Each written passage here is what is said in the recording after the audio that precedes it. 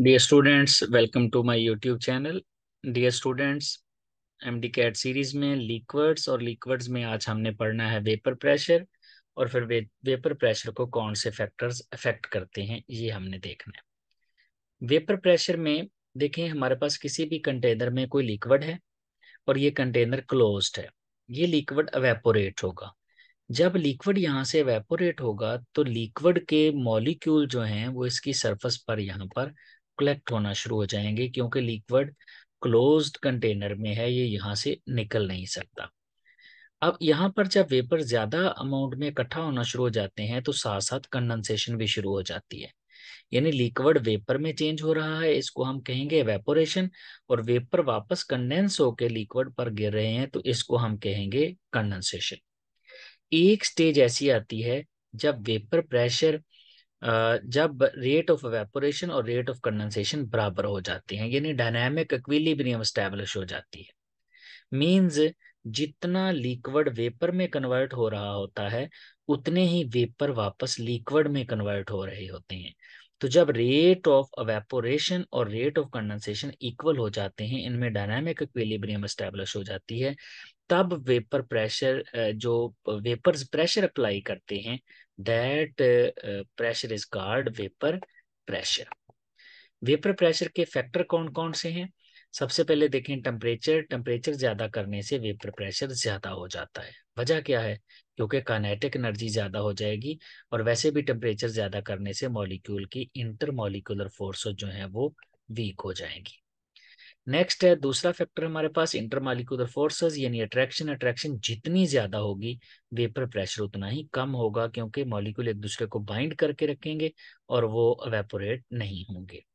इसी तरह size of the molecule molecule का साइज़ जितना बड़ा होता है, यानी उसका मॉलिकुलर वेट ज़्यादा है मॉलिक्यूल हैवी है साइज़ ऑफ़ मॉलिक्यूल बड़ा होने से आपको पता है लंडन डिस्पर्सिव फोर्सेस बढ़ती हैं अट्रैक्शन बढ़ती है, और अट्रैक्शन बढ़ेगी तो इसका मतलब है उसका वेपर प्रेशर कम हो जाएगा। एक्चुअली साइज़ ऑफ़ मॉलिक्यूल बढ़ने से अट्रैक्शन बढ़ती है लंडन डिस्पर्सिव फोर्सेस बढ़ती है पोलराइजेबिलिटी ज़्यादा हो जाती है।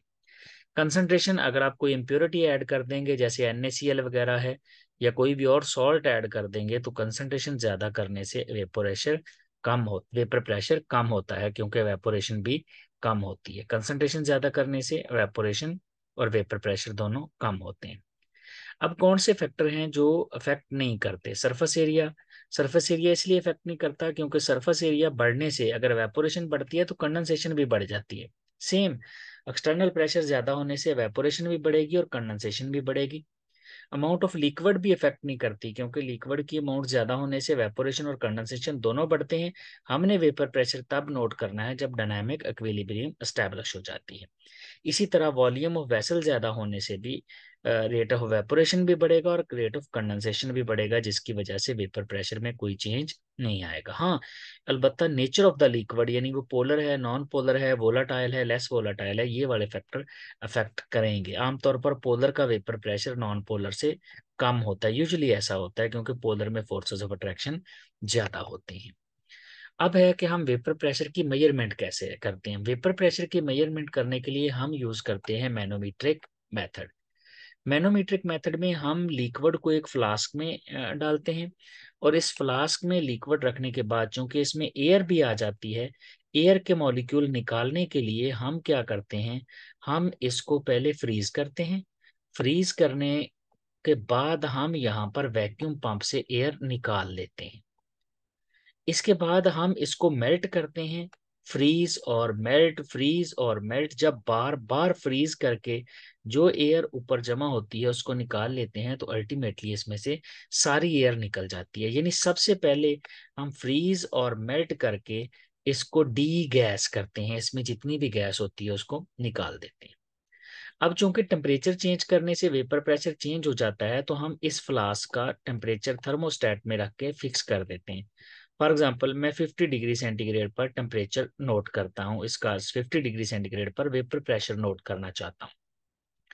जब 50 डिग्री सेंटीग्रेड पर मैं इसको हीट करूँगा, यहाँ से वेपर बनेंगे वैक्यूम पंप हम बंद कर देंगे और ये वेपर जाएँगे इस साइड पे, जिस साइड पे मैनोमीटर है, जिसमें मर्करी फिल किया गया है, जो कि नॉन वेटिंग लिक्विड है। ये वेपर जाकर प्रेशर लगाएँगे यहाँ पर इस मरकरी पर रिज़ल्ट क्या निकलेगा?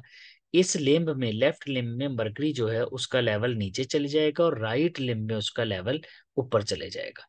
जितना दोनों लिम्ब जो हैं, राइट और लेफ़्ट, इनमें जितना चेंज आता है, उसको हम कहते हैं this is the vapour pressure of the liquid याद रखिएगा, मैनोमीटर दो तरह के होते हैं। एक होते हैं क्लोज्ड यहाँ से क्लोज्ड ट्यूब ये जो क्लोज्ड ट्यूब होते हैं, इनका वेपर प्रेशर जो होता है, वो चेंज यहाँ पर जो आती है, उसी से हम निकाल लेते हैं। यानी P is equal to delta H ये जो हाइट में चेंज आ रहा है दिस इज़ वेपर प्रेशर इसको हम छोटे एच से लिख लेते हैं, क्योंकि बड़े एच से हम इंथॉल्पी को लिखते हैं।